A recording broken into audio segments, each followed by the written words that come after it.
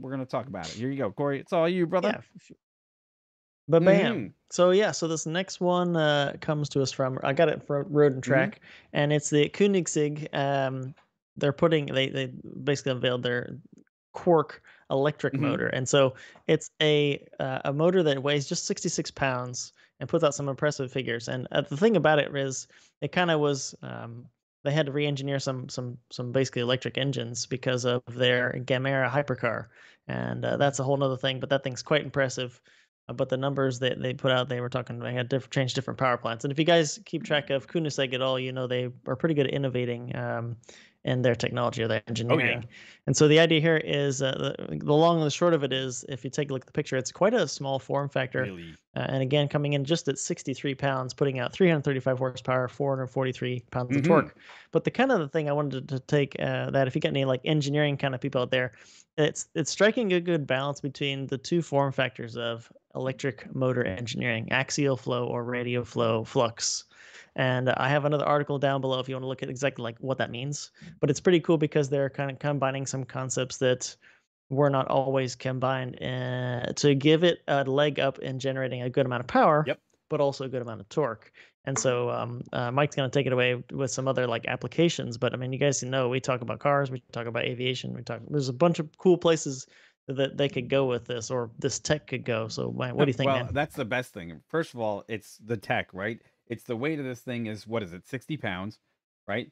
Six- So the, yeah, the weight yeah. to horsepower ratio. So it's we're talking 300 horsepower, and I think it can do 300 horsepower for a 20 second burst, roughly, right? right. Around 300. Wait, let me make sure. I just want to make sure this is this is correct. Um, so this one was the Mike's gonna have to search for it in the article. Is 335 horsepower, okay, Right. and 443 pounds of torque for 20 seconds. Okay, so here's the thing.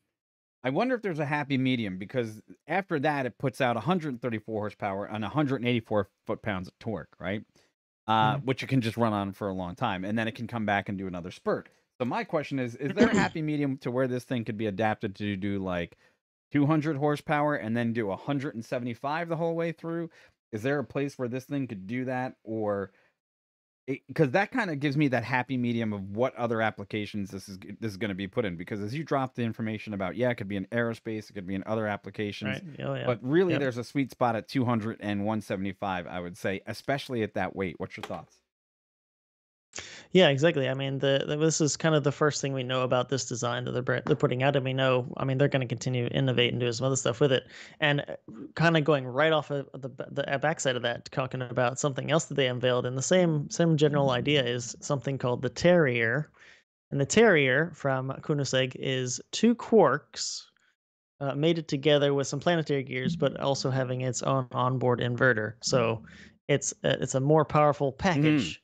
And so, the, so this Terrier, two Quarks with an inverter in there, puts out 670 horsepower at 811 foot pounds, and that whole package, uh, obviously no batteries, but that whole package there is just the 187 pounds. Um, so this is pretty interesting, and I, I, I was Yeah, thinking sure. as I was looking at this, I'm like, this is literally drop in uh, swap for oh my god EVs who want to have some crazy numbers. Um, and um, it's pretty impressive. I thought it was pretty cool. I mean, the thing, the places they could go with this after that, uh, you back know, in time some interesting things here.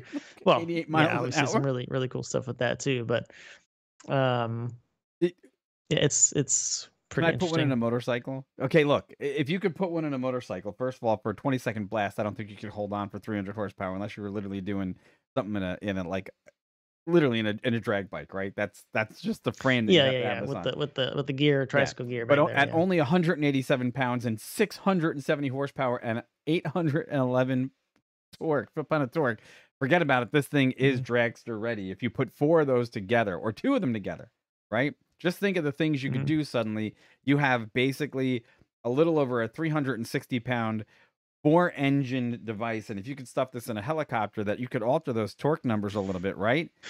And have one that would be basically a a standby or redundant power source or run them in some sort of lean mode together all the time these four motors and then if one should go out you got you got 20 seconds of life-saving power there that that means the difference between finding a good landing spot and not and that that's a real application where this could really go into an electric helicopter. I think. Yeah, that that's the uh, that's kind of the interesting thing I, th- I thought about this too is that they've really kind of capitalized on the idea of form factor, but Yeah. also still getting the torque numbers they want out. Because we know Koenigsegg, they're really uh, again hypercars. They they even mentioned in the article that they kind of designed this to get the car moving, to kind of Yeah. you know get that burst of speed you need, low speed, which is again torque. If you know anything about getting cars Mhm. moving quickly, it's that low end torque you need, not just straight power. Um, and that lends itself quite well to, as you said, helicopter aviation. You need, you know, a good amount of steady uh, and powerful torque numbers uh, on uh, on the rotating components uh, in helicopter applications.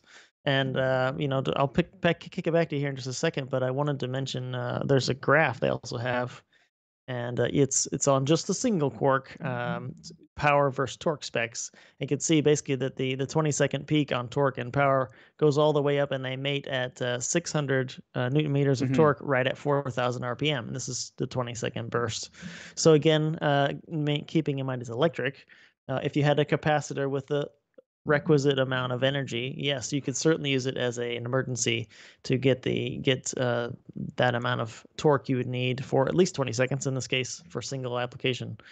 And it's seems like it would be you know really really fit that bill pretty oh well. yeah, I mean, uh, so look, they they engineered this thing to do the right job at the right time at the right place, right? Literally, they've timed it for 20 seconds. It's a great pulse right off the line, like you said, for their for the Gemera, which is going to be their super supercar that's going to integrate into this, right?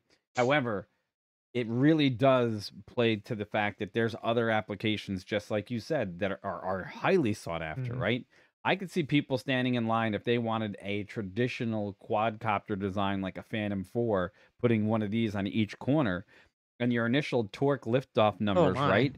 Yeah, I Oh mean, my. look, you're and or You're talking like eVTOLs, not Yeah. even like yeah, like bigger cargo yeah, quads. cargo and stuff. quads, something of that nature. And then the other part of it is, what about a racing, s- a real racing quad, right? A real one like we've seen for the one that we covered last week. Um, something like this type of power system going into it. So basically, if you had like your your DRS kind of situation in, in a Formula One race, where Mm. if you needed that Yep, extra yep. 20 seconds of passing power, whatever it is, and you get down a you know this quote unquote straightaway blast off, and bam, you know here you are doing literally three times the speed you were before. Now, retreating blade stall notwithstanding, or whatever other situation we're going to find aerodynamically. Yeah, yeah, right? yeah, yeah, Um, yeah. but I mean, hats off to who do you think's really got the advantage now? Is is Rimac really the you know the top dog really in EV development when we're talking about these super speeds, or is Koenigsegg really proving their weight in the fact that they're not only just taking electric in in one stage and making it a one stage application for the vehicle, but also producing something else that has wide appeal that they could make as a sellable object outside their supercar. Yeah, I do wonder uh, what Koenigsegg really is looking to do as far as sharing this tech with other applications outside of their automobiles. Um, they're always a, an interesting company to keep track of because again, they do things at you know they make things happen that you're kind of like, wow, I didn't actually think they could really fit that in that form factor or get that amount of power out of that type, type size power plant or whatever it is. And they're it's always interesting to watch what they're coming out with, coming Right. up with. Um, but again, as the, they mentioned a while back, and of course, uh, now we're covering it now. They they said, hey, hybrid powertrains is the way they want to go because if you know about Koenigsegg, they're not they're not going to get rid of their their um, internal combustion power plants. Uh, at least they haven't mentioned they're going to. So And they're pairing this with a amazing uh, output um, uh, ice engine is is just a no brainer, really. At least for them, right? For certain. But yeah, I'd be interested to see where they where people can leverage this tech for well, forget about the fact that they have a three cylinder. It's also going to be making 600 horsepower, right? So you're you're, Mhm. you're they're yeah. Oh, really yeah. not stopping that level of innovation. They're giving you a little bit of everything on the forefront, which I think it does make it the perfect adaptation of what our electric slash ice future and hypercar future should look like at the moment. Right, you're going to get the best of both worlds, and and that thing's going to go 248 miles an hour. So, I mean, what else could you expect? Yeah, yeah, So, hey, yeah. And it's a four door, isn't yeah, it? The yeah, it's, and I it's mean, gorgeous. just- And, wait, and it's not ugly either. Yeah, it's yeah. well, it's not a four door; it's a four seater, but it's a one door design, Oh, I think, or maybe it was a hybrid design yep. door kind of thing. Uh, kind of neat. All right, well, I I am fascinated by Pretty this. When you sent it to me earlier in the week, I nearly, I literally was like, wow, Like you, you can't you you just wow. Wow, I was that's like cool. it's like game changer. There's there's stuff out in the tech world that's still could Yeah. be game changer, and this is game changer. Mhm. So Yep. So so yeah. So if you're done uh, that, thanks so much for that. Uh, please like, share, subscribe. We'll, we're always looking for these kind of cool little things to share with you guys, whether it's from automobiles or you know aerospace, actual um, uh, cars, and obviously aviation. We're still into that too. So thanks for all the support, and uh, we'll continue to bring you what we find. Thanks go. so much. Awesome.